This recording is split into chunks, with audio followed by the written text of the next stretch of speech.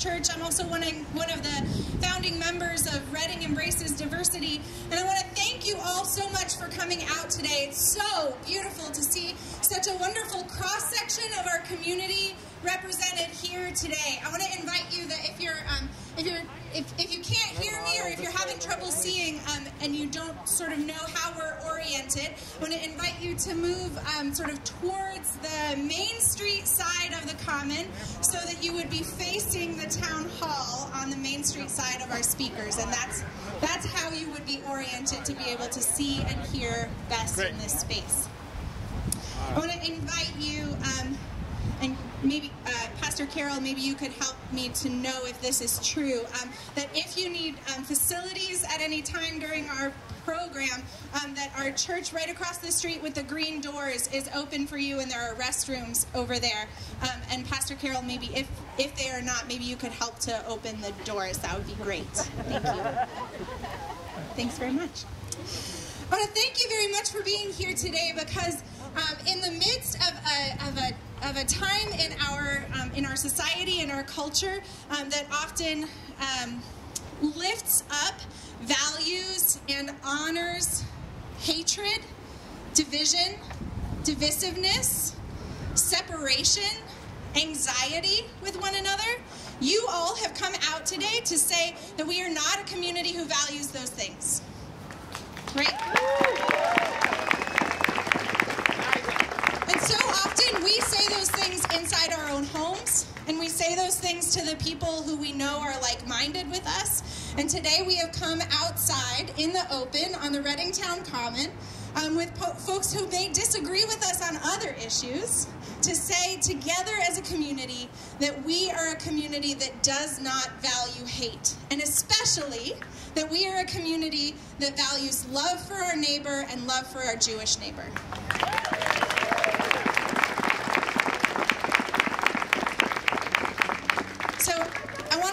a number of thanks this morning. I want to thank especially Ann Landry, who um, was a huge part in, in getting this event put together this morning. Thank you,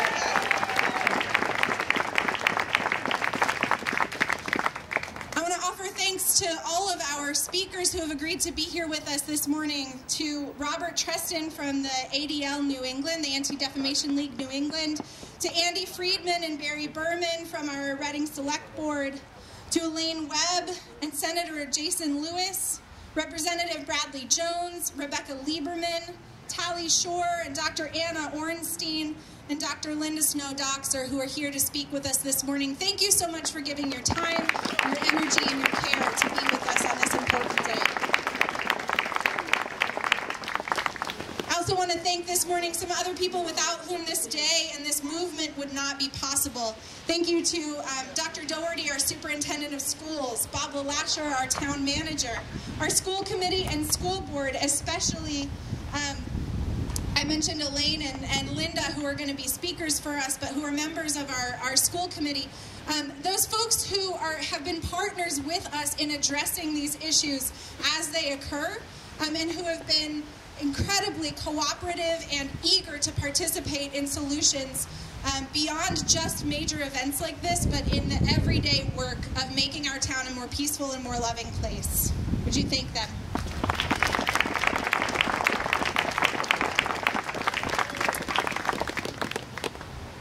Select Board member Vanessa Alvarado and School Committee member Jean Borowski are also here this morning along with candidates for office Jay Gonzalez, candidate for governor, Joe Schneider, candidate for Congress, and Rich Hegarty, candidate for state representative. And um, Aaron Calvo-Bacci, who's a candidate for state senate, might also be joining us later. I want to thank all of you recognizing that this is an important event, not only for, this is an important occasion, not only for Reading, but for our whole area and for all people who value the love and the lives of, uh, of uh, folks in our community who are experiencing the violence and the impact of these events. Would you thank them? take up any more space and time thinking and welcoming people. I want you to hear from the voices of folks who have stepped out this morning uh, to, um, to give us their voices. And so would you please welcome our representative from the uh, uh Anti-Defamation League, Robert Trestan. Good morning. Communities are defined by what is happening here not by the hate, not by the anti Semitism, not by the racism. We define ourselves by values, as you just heard. So let's hear some of those values respect, respect, courage, the courage to come out and stand up against hate. Let's hear it for courage, courage. diversity, diversity. justice, justice equality, equality, and standing up for one another, regardless of faith, regardless of skin color, regardless of who that person loves or how they identify themselves. We define ourselves as a community by those of us that are here today and reaffirming the values that we choose to live by. And that's what all of us need to go home with today. And we need to go and talk to our neighbors. We need to go speak to our friends, our colleagues, the people that we work with, the students that we teach, and the teachers that teach those students. Because we have the ability to multiply those values and to extend it throughout the, throughout the community. Reading will never be defined by acts of hate. Reading will never be defined by anti Semitism. Reading will be defined by the values of the people that are here today affirm and choose to live by every single day. And the same goes for every town in Massachusetts. The same goes for our country. And it is up to us to demonstrate that courage, to demonstrate equality, to demonstrate support for justice. Because the future, the future are the kids who are in Reading schools and schools across the country. And they are looking to us today. And so we have a responsibility. So take that message and let's demonstrate it, not just on a Sunday afternoon in the Reading Common, but throughout our daily life, every day, starting when we leave here. Thank you for being here, and ADL will stand with Reading for the duration.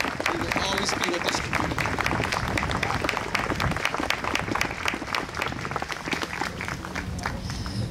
From the first moment we discovered um, this hateful speech happening here in Reading, Christian and Jewish clergy have come together to respond in positive ways here in our community.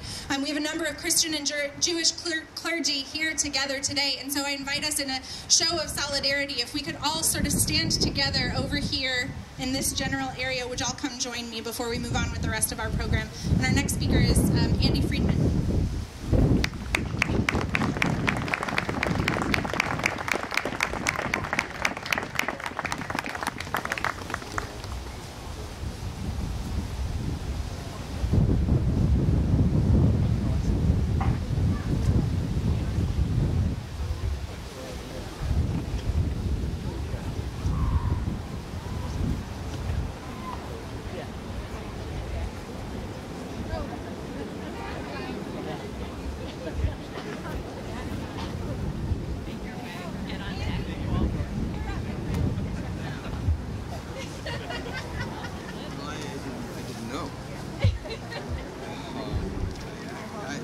can I follow a speaker like that? Um, uh, this is really amazing to see all of you here.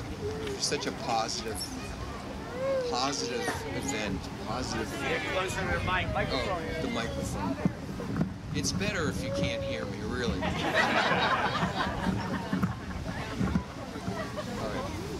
Thank, thank you. Is that is that better? Yeah. Yeah. Uh, all right, so I have to read this because uh, I'm not a good public speaker. Um, it's great to see you here today for this important stand against anti-Semitism. For those of you who don't know me, I guess I was just announced, Andy Friedman, so I can skip that. Uh, I'm proud to see so many come out uh, on this blustery fall day to say that anti-Semitism is not a Reading value. Hate is not a Reading value. Thanks to Reading Embraces Diversity, or RED, for organizing this rally so quickly after uh, the most recent swastikas were found in our schools. And thanks to Ann Landry for bringing this event to the attention of the Select Board so that we could add our voices to yours. We acknowledge the great impact this vandalism has had on our neighbors and our friends. I'd like to bring it back to the true meaning of the swastika because we can't really ever forget that. Um, so I'll close with a quote that stresses the importance of speaking out against the meaning of the swastika. And this was by a German pastor, Martin Niemöller, um, who stated the following after he survived a Nazi uh, concentration camp. He was a Nationalist Socialist too, actually, when he, when he first started off. He said, First, they came for the socialists, and I did not speak out because I was not a socialist. Then they came for the trade unionists, and I did not speak out because I was not a trade unionist. Then they came for the Jews, and I did not speak out because I was not a Jew. Then they came for me, and there was no one, no one left to speak for me.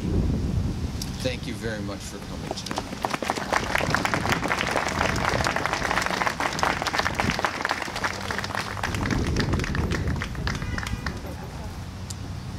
Select Board Member Barry Berman will continue adding his voice to our chorus.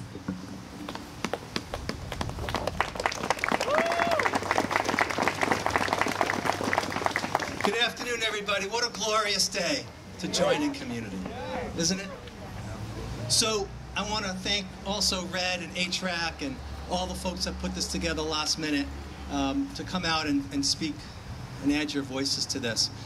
I'm not sure why I was invited to speak, if it was because I'm a member of the Select Board, one of your elected representatives, if I'm also a member of the Jewish faith, as an American citizen, as a father, just as a human being. So I'm going to talk to you with all of those hats on. Um, my Jewish friends will understand this um, because anti-Semitism has been here since the second day after Jews walked the earth. We all know that. In fact, there's sort of a gallows humor amongst Jews that all of our holidays sort of have a similar theme. We, they try, they hate us, they tried to kill us, we won, pass the bagels. That's been our life.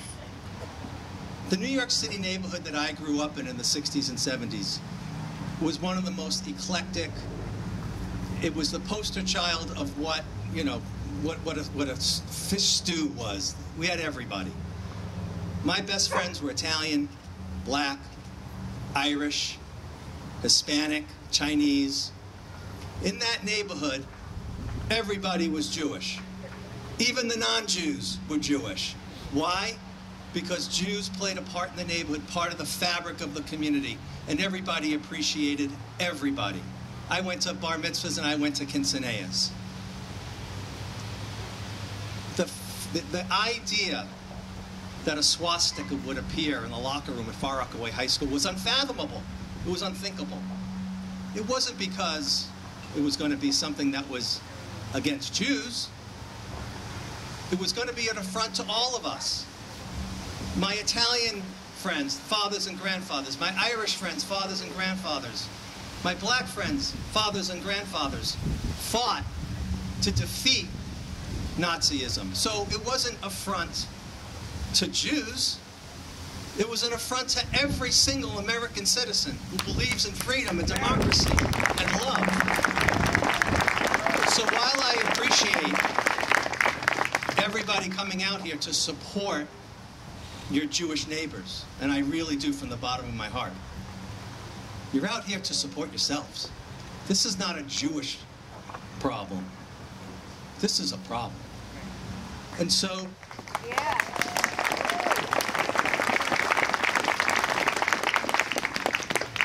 that neighborhood that I grew up in, to be honest, I, I never really experienced anti-Semitism. I mean, yeah, it was around. We always knew it was around, but I never really had that personal experience.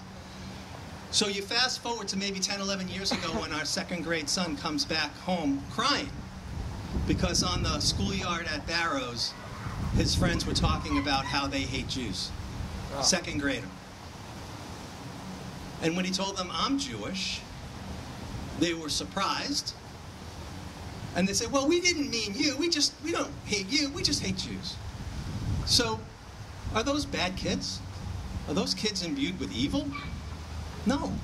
They learned it. They learned it from their fathers and their mothers and their grandfathers. They learned it from their institutions. They learned it at the kitchen tables. And while that's disheartening, what can be learned can be unlearned. And that's the responsibility of everybody here. We're blessed to have great teachers and a curriculum at the Reading Public Schools that basically stands up against this. And I'm really glad that our, our, school committee people are here and Dr. Doherty is here. They didn't learn that in the Reading Public Schools. They learned it outside of the Reading Public Schools. And so that's where it's going to have to get unlearned. And I think that the teachers, the teaching and the learning that's going to go on is going to come from our children teaching their parents. And that's all of our responsibilities, not just the Jews here, it's everybody. So I'm really hopeful. And I'm really jazzed. And I'm so excited that there's so many people here, many whom I have never met, that are going to come out and stand up because this is a problem that we're all going to face together. And I'm really excited. So thank you all for being here. And let's stamp out hate and anti-Semitism. Thank you.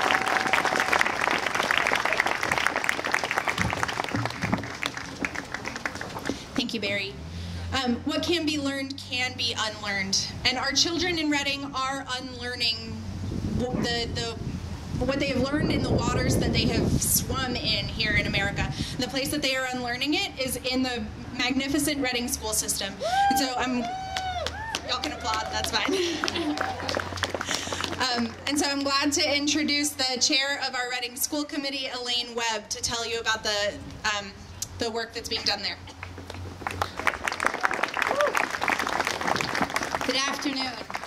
On behalf of the school committee, Superintendent Doherty, our administrators, district leadership team, and the Reading Public School community, we are proud to join this rally today as upstanders.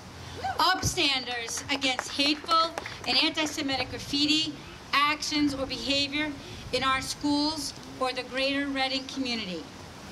We do not tolerate hateful words or actions, bigotry, or any other form of racist behavior in our classrooms, schools, or on our grounds. There is simply no place for it in a free society committed to equal rights for all. I know that we can be and that we are better than that. We must stand together in not allowing the actions of the few to overshadow the tremendous kindness, respect, empathy, and acceptance our students and staff across all of our schools in the district embody every day inside and outside the classroom. We will continue to educate our students, provide safe and supportive schools, build a stronger and more vibrant community, create understanding and act with a sense of positive energy focused on respect for our differences, focused on the future of our young people. We need to understand embrace, and respect our differences. We must continue to listen respectfully to each other's thoughts, learn from those conversations, and stand together to truly celebrate diversity. On behalf of the entire Reading Public School System, we are grateful for your attendance here today and your commitment to work together for a safer, more just community. Thank you very much. I'd like to introduce our state senator, Senator Jason Lewis. Thank you, Elaine. Thank you. Thank you, everyone, for being here. It's an, really a pleasure and an honor to be with all of you, with our community leaders, and with uh, Dr. Ornstein uh, as well, a very, very special uh, person. Um, I had the um, opportunity recently to visit the New England Holocaust Memorial, which is in Boston. And um, if you haven't had the chance to visit it, I encourage you to go. And like visiting the Holocaust Museum in Washington or Yad Vashem in Jerusalem, it's a, an incredibly moving experience. Um, I was struck by a lot of things, but in particular the um, panel on one end, which uh, has engraved in it the words of the poem uh, from the German pastor that Andy Friedman read uh, earlier. And um, and I was going to share the same poem with you. I won't, uh, won't read the same words again, um, but it, um, it speaks to all of us. And I think um, what we should reflect on is what that poem means. And I think what it says is that we should not be passive bystanders. When we see hate, when we see intolerance, when we see disrespect, we should stand up, we should speak out. That's what we're doing by gathering here on the town common today. So thank you, thank you for being here.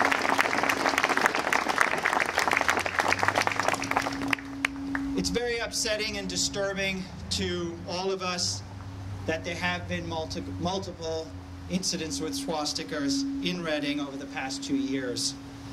And sadly, Reading is by no means unique. The um, Anti-Defamation League has tracked incidents of anti-Semitism, and we've seen a dramatic increase in Massachusetts and around the country over the last several years. But unlike some communities, Reading has not ignored or shrugged off these incidents as just acts of graffiti by a few misguided teenagers. No, instead, the Reading Public Schools and the town have taken strong proactive steps to educate our students and the community about what the swastika actually represents and importantly to promote positive values of respect for others and embracing difference. That's what really matters, the response that the community has made to these incidents.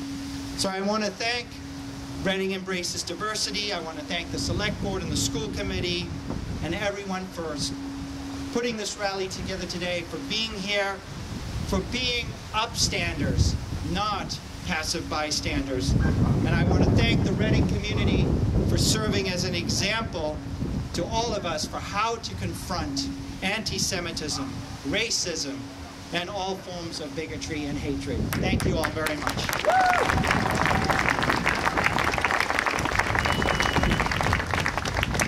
want to thank Senator Lewis for his proactive work and his uh, work in the state government. Also want to thank his colleague, Representative Bradley Jones, um, who I would now welcome to the mic.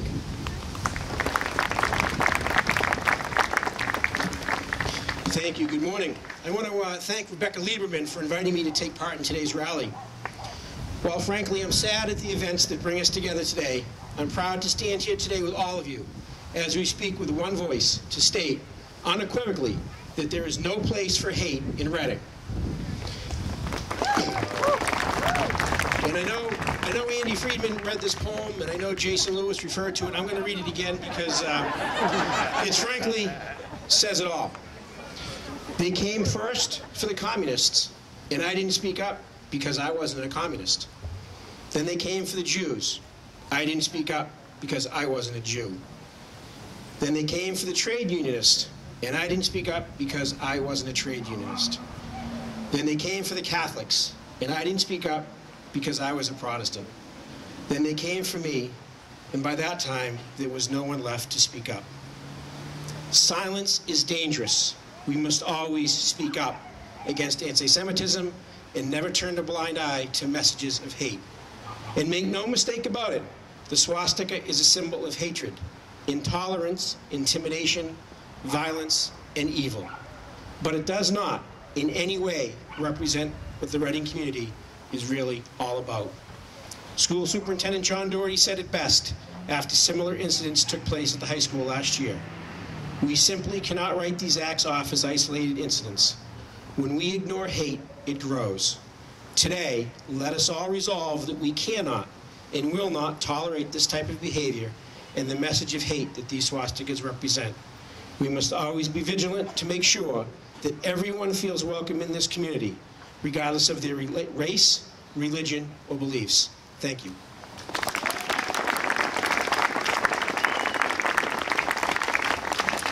Thanks, Representative Jones. Um, my friends, uh, in Reading Embraces Diversity, we often talk about the difference between intent versus impact.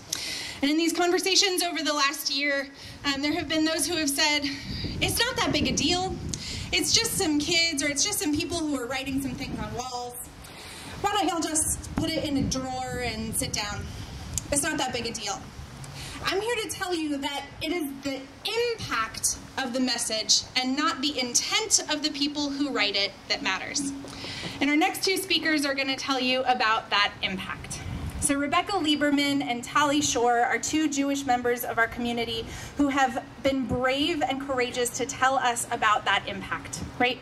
So when a hurt happens or a, a, a, rupture happens in our community, the most important thing is that we talk to the people who are impacted, who are feeling that hurt, and we say, what is that impact on you, and how can we, who have participated in that rupture, work to mend it? So I want you to listen carefully to the words of Rebecca Lieberman and Tali Shore, listen to their experiences, and hear it with an open heart. Rebecca?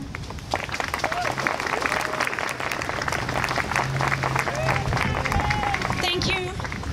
My name is Rebecca Lieberman, and I'm here to tell you what it's like to be Jewish in Reading. I come from Minnesota and have lived in Reading with my family for 18 years. I'm first generation American on my father's side. He and his family were lucky to escape Germany in the 1930s.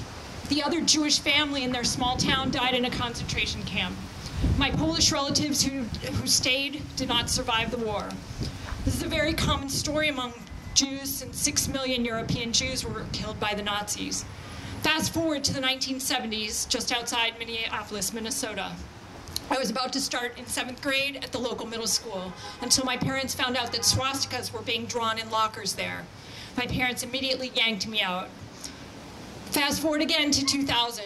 With my husband and two kids, we moved to Reading to make room for our growing family. We were attracted by the family-friendly feel, good schools, and small but active Jewish community here.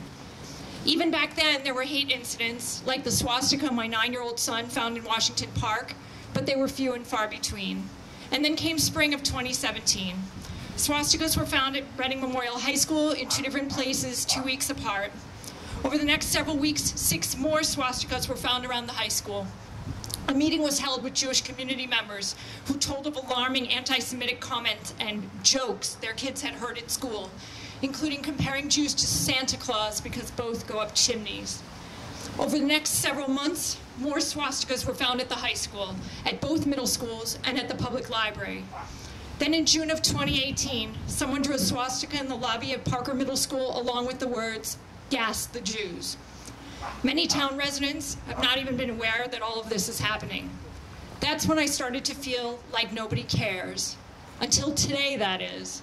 Not addressing the hate, not calling it out, not telling people, that does not work. In fact, two more swastikas were found at the high school two weeks ago. Ignoring these incidents and hoping they will go away sends a message that this behavior is tolerated. But standing up and being counted, saying this is unacceptable, that sends a stronger message. And while it may not happen immediately, I believe these types of events, like we're having today, and every individual's effort to stand up to hate, that will work. So thank you for being here today and being part of the solution.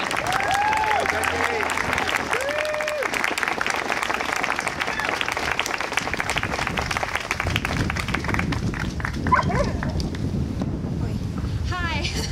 um, so my name is Tali Shore, and first of all, I want to thank um, Red for organizing this event, and thank you for everyone here to come here um, on this very cold day to um, stand up against hate. But um, so I'm Tali Shore, and I'm a senior at Reading Memorial High School, and I'm also a Jewish student. And so I'm just going to talk about my experience with this. So this all kind of started in, as Becky said, May of 2017, when I found a, I discovered a swastika drawn on the floor of a classroom. Um, and I told, I told my parents about it, and I told Linda about it, and then it started to gain more traction in town. And eventually I stood up and spoke at it. I spoke at a um, select board meeting, and that was it was really important for me to do that because that was where I could actually share my story for the first time. And um, after that, that kind of set it really in motion, and a lot of things started happening at the high school, such as lessons in history classes and the short lessons about the impact of the swastika. and you know, and assemblies with Anna Ornstein, and just some were more re- well received than others. So after some of the lessons in class about the history and impact of the swastikas, um, I heard some of my peers saying things like, "Oh, why do you care so much about this? This is a waste of our time." and calm down, like brush it off, learn how to take a joke. It's just a joke.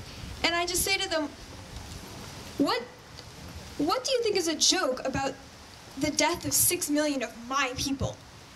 How is the death of 6 million of my people a joke? It's not. It's not to me. It's very serious.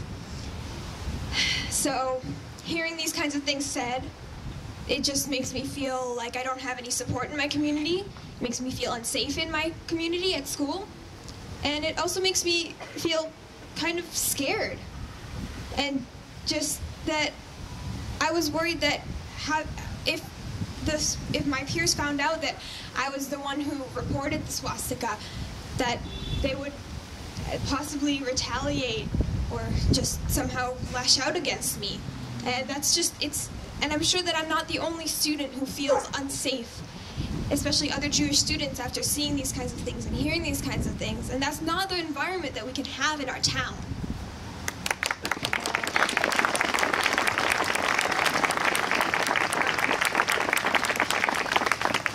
And, um, but hearing Dr. Dr. Anna Ornstein speak, just having her hear, have, hearing her speak at in assemblies, we had her come several times. She has just such an incredible message, and she's so inspiring.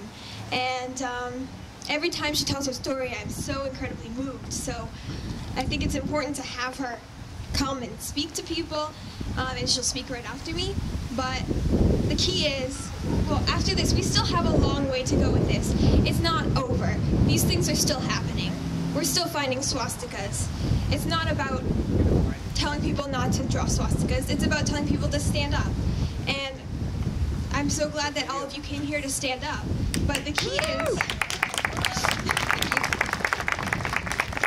the key is that we must respond to when this happens, to keep trying. Part of the tragedy in Nazi Germany was that intolerance was met with silence, with indifference. That's why it is essential that we respond as individuals and as a community.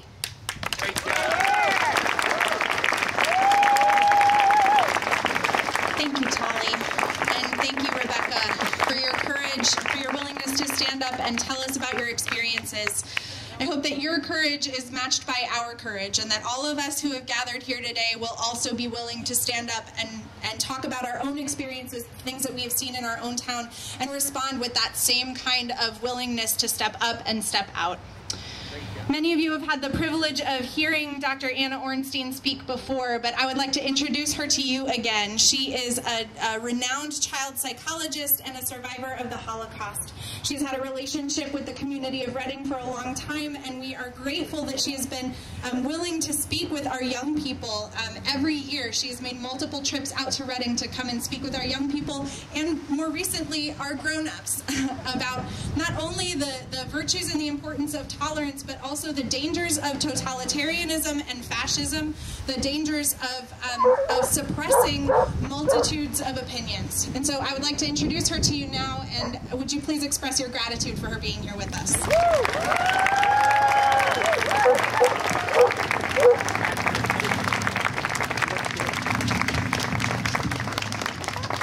Thank you very much for those beautiful words. And if you think that I'm doing you a favor, you have to consider that you are doing me a favor. I am just so lucky. I feel so very lucky to be able to be here because this community had grown very dear to me.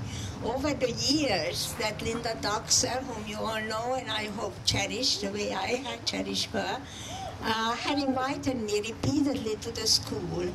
And I feel that since I am lucky to be still healthy and be able to walk around, it, it is wonderful that I'm given the opportunity to tell you a little bit about what happens when you don't come out to such a rally.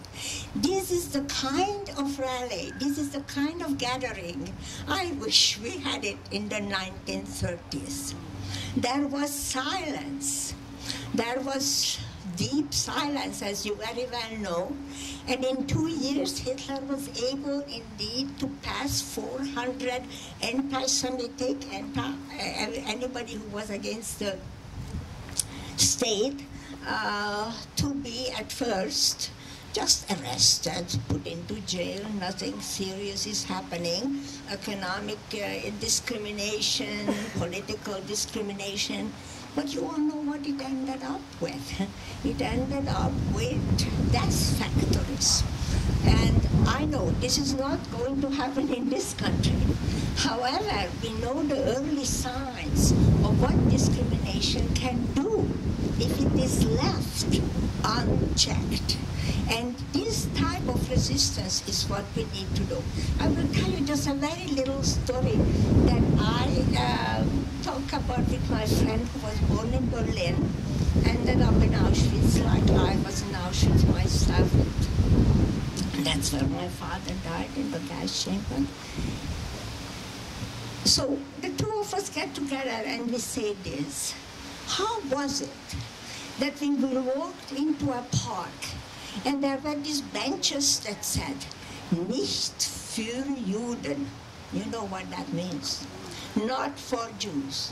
She says we should have sat down. We should have taken our Gentile neighbor friends and sit there and have them, and then yes, they would have been arrested. But there was, unfortunately, on the side of not only the perpetrators, but the Jewish community, tolerated the early signs. There were economic signs, political signs. Jews could not go to the university. I couldn't go to a high school even. And that, oh, we can put up with it. And we put up with more, and then with more, and what did it do for us? I remember even when I, we were already collected in the uh, yard of a factory, my two brothers were already in uh, forced labor battalion. They were doing the dirty work for the Hungarian and the German army because Hungary was allied with the Germans. They did not come back. I am the only survivor in my family. But when I was on that factory uh, yard, and then we were waiting for the next transport that took us to Auschwitz. And I could hold my mother's and my father's hand. I even thought, if that's all they wanted us from us, maybe we can live with that. Why would we have to come to a point where you settle for that kind of a thing? It should not have to happen in this beautiful country. Now, it's very clear that that's why I'm here, because I can tell you some stories as to what can happen when you leave it alone. But what it really teaches us, more than anything, that early signs have to be recognized. And it was this marvelous historian at Yale, Timothy Snyder, who said, the symbols of hate of today are the reality of tomorrow. So when the children say, so why are you upset about the swastika? What does it mean? The symbol of uh, the, the, swastika is not only the symbol of um, anti-Semitism, it is the symbol of hate, which means that the person who is hating you as a Jew or a Muslim or a black man is also suffering from being a hateful person. When I come to Reading and the children ask me, Dr. Ornstein, what does it make you feel when you see the swastika? I would like to know what does it make him feel if he's not a Jewish child. Because he now has a choice. Do you want to become a hateful person? Because people who are hateful, they suffer too. They are not necessarily very popular at first. They have to get into these terrible things, into legislation and into all kinds of uh, political acts. But when you experience the hatred itself, you are not necessarily a joyful and a happy person either. So there are many reasons why I am so delighted to be here and to see that you take these things so seriously as you have to. There's only one more thing that I want to share with you, because maybe you will recognize it in yourself. I think that another emotion goes with fear, uh, with hate, and that is fear. And that is what I remember the most. In 1938, in 1939, I was an 11, 12-year-old girl, and I would say my parents tried very hard to kind of create a semblance of normalcy in our home. But fear permeated our home. Fear controlled every step we took. We spoke in hushed tone of voices. I remember my father taking deep sighs whenever he had to go anywhere. He was on house arrest. When I told my grandchildren that their great-grandfather was on house arrest, they wanted to know, oh, what did he do? I said to them, he had committed the worst crime of the 20th century. He was born a Jew. That is your crime, that you are born a Jew. And that is very hard for children in America to accept and to recognize. But I think we now better do that. We recognize whether you are a Muslim, a Jew, or anything of a different color, a different religion, you are in danger. And that is why I like all those quotes from Miller, because it, it really applies. So I do want to let you go home because it's a cold day. but I did want to share with you the importance of fear as it put into the heart of the Jewish child like Tali and the other Jewish people that maybe you yourself may not experience but I'm asking you, think about that. Because hate begets fear, and fear is a destructive and horrible emotion. When you have to live with it, you are afraid that you become paralyzed by it. And this is why I said earlier, my parents tried to keep us children from knowing the danger that was hovering over us. So keep this country safe for your children and for your grandchildren. Thank you.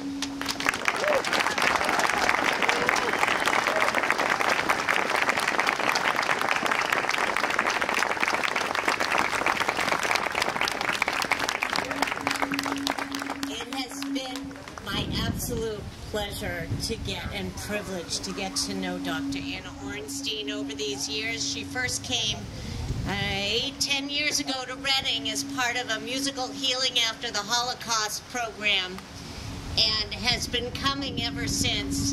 And she keeps thanking me and us for bringing her here, but if we can give her another thank you, that would be awesome. Because she changes people's worlds. Um, I'm Snow Dockser, and I play many roles here in town, and I appreciate the trust that has been afforded me. Today, I'm playing the role of a founding member of Reading Embraces Diversity, and also a member of the Jewish community here in Reading and beyond. Um, my job is actually to be quick. So I promise to do that, and that's why I have this piece of paper. We know this rally was organized quickly and that many people broke engagements, changed their schedules, traveled miles to be, be, to be here. we want to thank each and every one of you for every effort that you made to be here. We know it took your time and was inconvenient. We really appreciate it. And hate is not convenient. Hate doesn't wait for the moment where we say, okay, I've got an hour tomorrow, I can deal with this. It doesn't wait. And so I thank the organizers also. Ann Landry, thank you for making this happen in five days.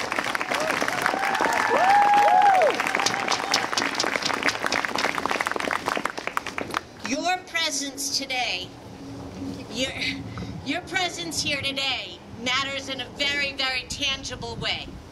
The Reading Jewish community, as well as other minorities, can see, feel, and know that we are not alone, that you all care enough to be here, and that there are many others who have sent messages of saying, oh, I wish I could be there. I'm at my children's uh, college weekend, and, you know, thank you for your messages, those of you that couldn't be here, and thank you to all of you for being here.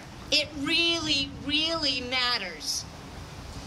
We'd all like to say thank you to each of our speakers today, to our clergy for rushing out of church services, for making the time to be here, to our superintendent, to our town manager, I know you're here.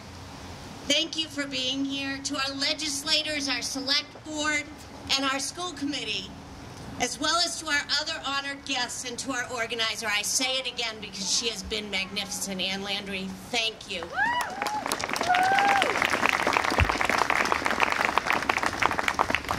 And again, thank you all for making the schlep to be here.